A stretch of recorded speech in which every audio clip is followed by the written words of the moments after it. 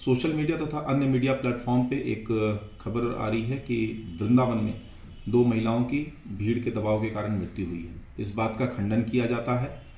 दोनों महिलाओं की अलग अलग समय पे अलग अलग स्थान पर और भीड़ से अलग बीमारी के कारण उनकी मृत्यु हुई है।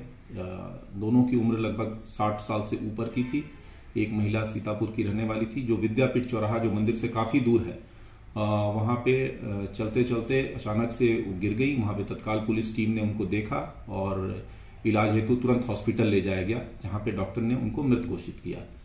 दूसरी महिला जो जबलपुर की रहने वाली थी, उनकी उम्र भी साठ साल से ऊपर थी और वो उस समय मंदिर भी बंद हो चुका था।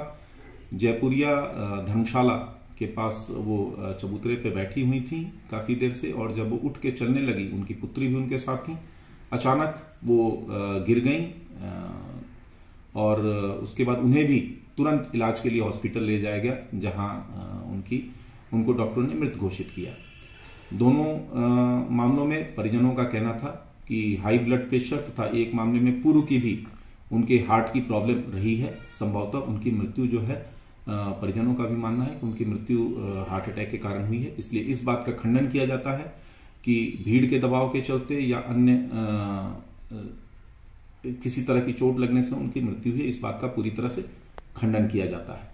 साथ ही साथ अभी छुट्टियों में और नववर्ष के कारण काफ़ी संख्या में श्रद्धालु मथुरा वृंदावन आ रहे हैं।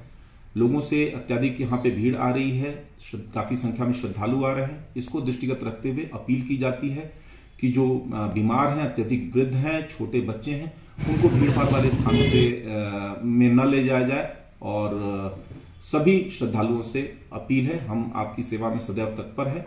पुलिस प्रशासन का भीड़ नियंत्रण में सहयोग